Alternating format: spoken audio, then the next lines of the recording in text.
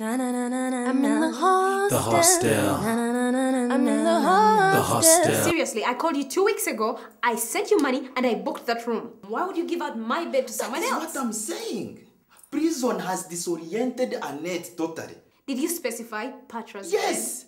P A Tra. I actually didn't expect you to come back at all. I told you something happened. I had to come back earlier, but it's all good. Tell me something about Kampala. Did you did you go to Ground Zero? You guys know Ground Zero, 9/11, the site.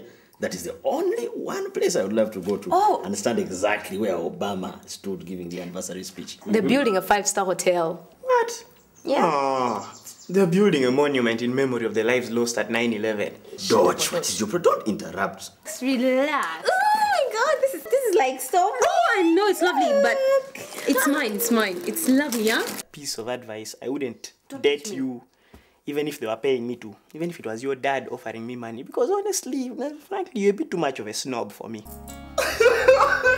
You s- I am agitated to believe that Patra. I didn't know. Come, come, come.